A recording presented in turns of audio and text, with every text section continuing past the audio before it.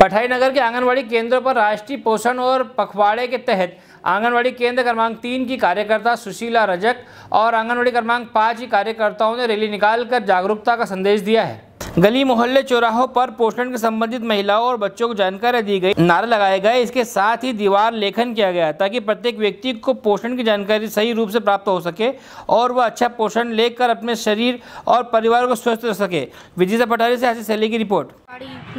के तहत राष्ट्रीय पोषण माह का कार्यक्रम किया गया जिसमें विभिन्न क्षेत्रों में हमने रैली निकाली बच्चों के द्वारा और जन समुदाय में हमने ये प्रेरणा दी है कि पोषण को हमको किस तरीके से लेना चाहिए, किस किस चीज़ में पोषण होता है, ये हमने जगह जगह जाकर रैली निकाल के लोगों को जागरूक किया।